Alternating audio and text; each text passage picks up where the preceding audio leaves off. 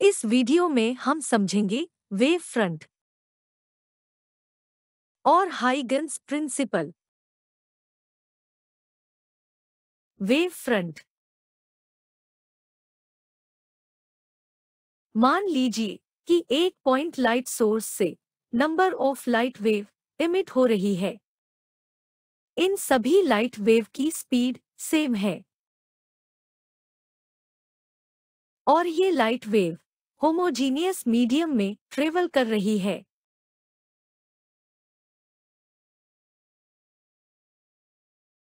अब मान लीजिए कि टी टाइम बाद हर light wave X distance travel करती है। एक्स डिस्टेंस ट्रेवल करने के बाद हर लाइट वेव मीडियम की किसी पॉइंट को टच करती है। इस पॉइंट को हम लोकस भी कहते हैं। इन हर एक पॉइंट पे मीडियम के पार्टिकल्स होते हैं, जो सेम फ़ेज़ में वाइब्रेट करते हैं। कहने का मतलब ये है कि पर्टिकुलर टाइम पे इन पॉइंट्स को टच करने वाली लाइट वेव का फ़ेज़ सेम होता है। इसे हम ऐसे समझ सकते हैं कि सेम स्पीड से ट्रेवल करने वाली सभी वेव का लोअर और हायर एम्पलीट्यूड सेम होता है। एनिमेशन में हम देखते हैं कि पॉइंट लाइट सोर्स से हर डायरेक्शन में लाइट वेव एमिट हो रही है। और एक पर्टिकुलर टाइम के बाद मीडियम की हर एक पॉइंट को टच करती है, जिससे एक थ्री डी स्फेरिकल प्लेन बनता है। और इसी प्लेन को हम वेव फ्रंट कहते हैं। वेव फ्रंट को हम कुछ इस तरह से डिफाइन कर सकते हैं। A wave front is defined as the continuous locus of all the particles of a medium which are vibrating in the same phase. Light source के बेसिस पे वेव फ्रंट तीन टाइप के होते हैं spherical wave front cylindrical wave front और plane wave front अगर light source एक point source हो, तब जो वेव फ्रंट बनता है, उसे स्फेरिकल वेव फ्रंट कहते हैं।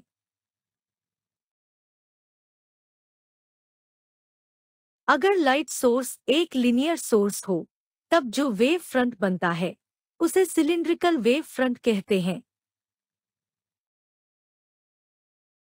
अगर पॉइंट लाइट सोर्स या लीनियर लाइट सोर्स बहुत लार्ज डिस्टेंस पे हो तब जो स्फेरिकल या सिलिंड्रिकल वेव फ्रंट बनता है, वो प्लेन वेव फ्रंट जैसा अपीयर होता है, उसे प्लेन वेव फ्रंट कहते हैं। इसका बेस्ट एग्ज़ाम्पल हम सन को मान सकते हैं। इससे आने वाली spherical wave front plane wave front जैसा अपीयर होती है। आइए अब समझते हैं हाइगन्स प्रिंसिपल के बारे में। हाइगन्स प्रिंसिपल हमें किसी भी वेव फ्रंट की ज्योमेट्रिकल कंस्ट्रक्शन और पोजीशन के बारे में बताता है। हाइगन्स प्रिंसिपल कहता है कि अगर हमें किसी पर्टिकुलर टाइम पे वेव फ्रंट का शेप पता हो तो हम हाइगन्स प्रिंसिपल का यूज़ करके किसी टाइम इंटरवल बाद उस वेव फ्रंट का शेप और पोजीशन का पता कर सकते हैं।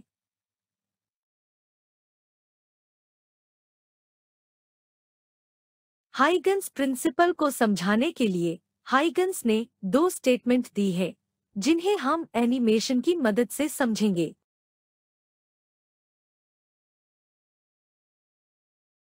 हाइगन्स प्रिंसिपल की पहली स्टेटमेंट कहती है कि किसी भी वेव फ्रंट के सभी पॉइंट एक नए डिस्टरबेंस की तरह एक्ट करते हैं, जिन्हें हम सेकेंडरी वेवलेट्स कहते हैं। और ये सेकेंडरी वेवलेट्स हर डायरेक्शन में लाइट की स्पीड से ट्रेवल करते हैं।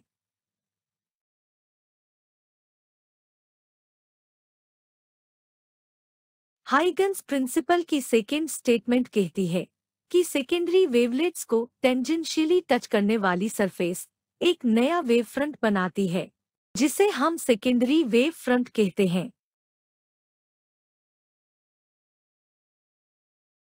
आइए इसे हम डिटेल में समझते हैं। मान लीजिए कि एक पॉइंट सोर्स से स्फेरिकल वेव फ्रंट एमिट हो रहे हैं। हाइगन्स प्रिंसिपल के अकॉर्डिंग इस वेव फ्रंट का हर एक पॉइंट एक नए डिस्टरबेंस का सोर्स बन जाता है। मतलब हर एक पॉइंट लाइट सोर्स की तरह काम करता है। अब इन हर एक पॉइंट से स्फेरिकल वेव बनते हैं, जो हर डायरेक्शन में लाइट की स्पीड से ट्रेवल करते हैं। और इन वेव्स को हम वेवलेट्स कहते हैं। अब मान लेते हैं कि initially time T equal to zero पे इन स्फेरिकल वेव्स का रेडियस ज़ीरो है। क्योंकि सभी वेव की स्पीड सेम है, इसलिए एक सर्टेन टाइम इंटरवल बाद जो रेडियस होगा, वो स्पीड मल्टीप्लाई टाइम होगा। यानी कि अब हमें हर एक वेव के रेडियस की वैल्यू पता है। अब अगर हम इन सभी स्फेरिकल वेव के सरफेस से एक टेंजेंट ड्रॉ करें तो हमें एक नए वेव फ्रंट की पोजीशन मिलती है। और इस नए वेव फ्रंट को सेकेंडरी वेव फ्रंट कहते हैं। और इस तरह हाइगन्स प्रिंसिपल का यूज़ करके हम किसी भी वेव फ्रंट की पोजीशन और शेप का पता लगा सकते हैं। थैंक्स फॉर वॉचिंग अगर आपको हमारा यह वीडियो अच्छा लगा तो चैनल को सब्सक्राइब करें और वीडियो को लाइक करें। तो मिलते हैं नेक्स्ट वीडियो में।